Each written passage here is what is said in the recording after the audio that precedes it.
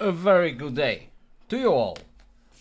Today, the latest driver update from NVIDIA came out.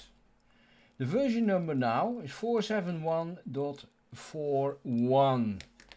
And what has changed? We got now the new game ready for Red Dead Redemption 2 and Chernobylite.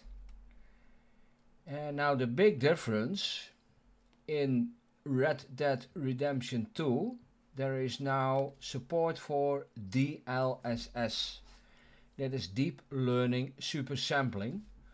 When it's off you get 70 FPS and when you put it on you get 92 FPS that's a whole big difference. And the difference is in 4K that's in 4K so the game is now running much much smoother. And we also have support for the game Chernobylite the Farm 51 Chernobylite releases recreates a Chernobyl exclusion zone. Okay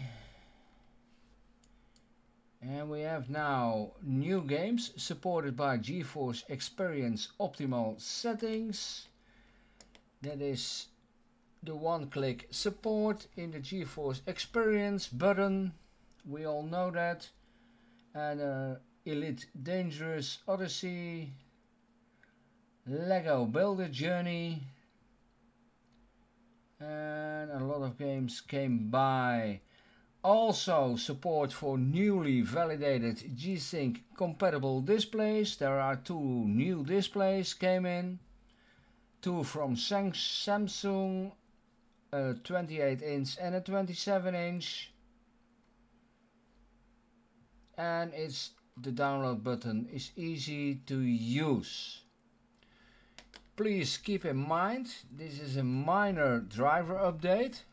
The big story is big support for Red Dead Redemption 2 a whole lot of difference in the frames per second.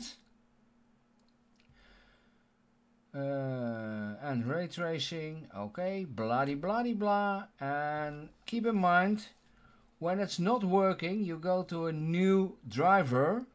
And it's not working as you want try to use DDU that's display driver uninstaller.